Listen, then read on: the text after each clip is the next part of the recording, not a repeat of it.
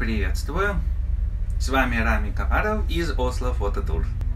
И сегодня я вам буду рассказывать о моем втором «я». Немножко звучит как шизофрения, но не переживайте, дело намного проще. Я буду рассказывать о своей второй профессии – водитель автобуса. И это не та профессия или не то занятие, которое я особо афишировал. Я, скажем так, пока не столкнулся с Инстаграмом, даже и не думал об этом рассказывать. Так что, скажем так, моя несколько тайная сторона. И начнем мы сегодня, почему вдруг я и вождение автобуса. В общем-то, в душе я не водитель, но так уж сложилась жизнь, что я им стал. И я думаю, прежде всего это связано с тем, что у каждого из нас склад ума на какую-то определенную профессию. Я не могу сказать, что я прямо вот водитель в душе, но в голове это когда вот вы ведете машину, вам тяжело, вы устаете, напрягаетесь, я нет. Вождить грузовик или автобус, а, то же самое, я могу. Расслабленный. И честно скажу, в общем-то, работа довольно хорошая. Но сначала с чего началось вождение автобуса? Началось оно с того, что когда я приехал в Израиль, а это было в возрасте примерно 17 лет, то когда подошло мое время служить в армии, мне уже было около 20. А в 20 это не 18, и мне захотелось из армии получить что-то, а не просто бегать с автоматом, зарываться в окопы. И я пошел в водители грузовика. В общем-то, это и довольно э, интересная идея, потому что учась на военного водителя, вы получаете бесплатные гражданские права и на грузовик, и на легковую машину.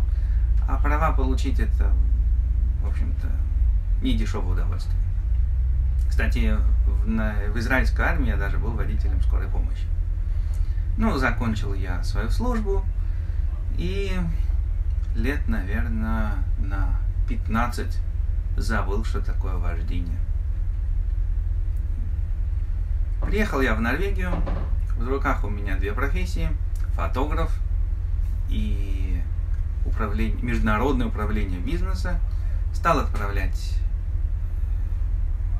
свои CV биографию, поиск работы туда-сюда. Никому не нужен фотограф, естественно. Ну а человек, который только студент, свежий, законченный э, высшую школу по экономике, и тем более без знания языка и норвежской реальности, никому не нужен.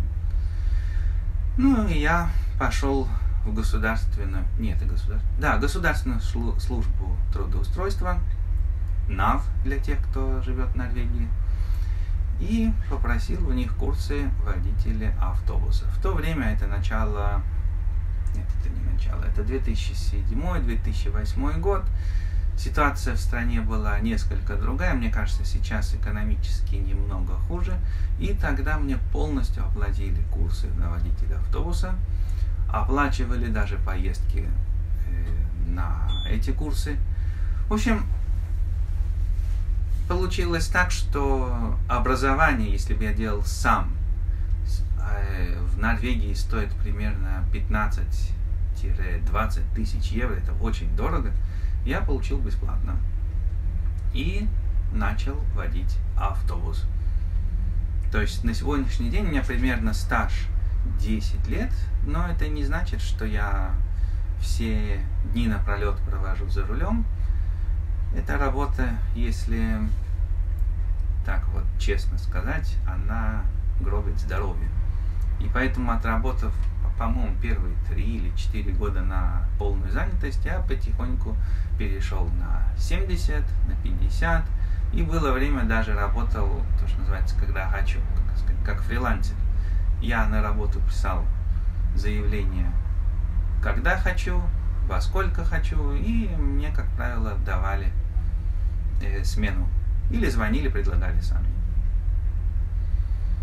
Ну, а сегодня по некоторым причинам То есть я вернулся опять на полставки.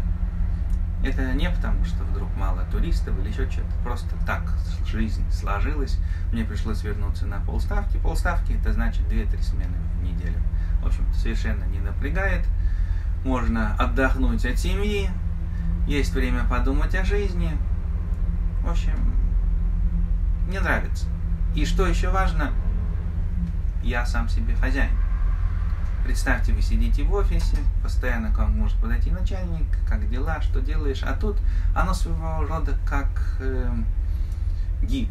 Я сам, я решаю все за себя и совершенно не напрягаюсь от общества начальства.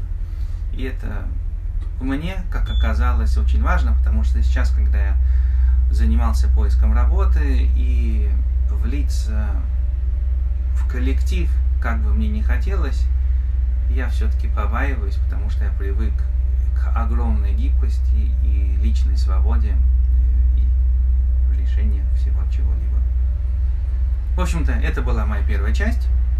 Пишите свои вопросы. Я уверен, что